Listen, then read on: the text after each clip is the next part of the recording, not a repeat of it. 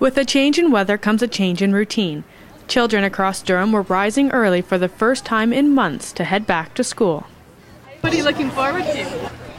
Uh, gym class. Is it your favorite? Yes. And why is that?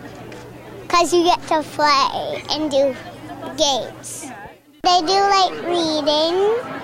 So I am looking, so I'm also, so, so the only reason I know I'm looking forward to is library to see that to read.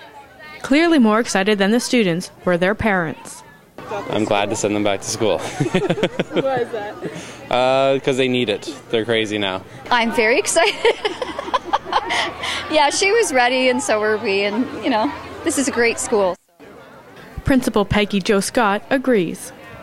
Dr. S.J. Phillips is one of the strongest academic and art schools in the board, and so they're going to have a wonderful year ahead of them. I have amazing teachers, and everyone's prepared to go, and the kids in this community and their parents are very supportive and work as a team, so we're going to have a great year.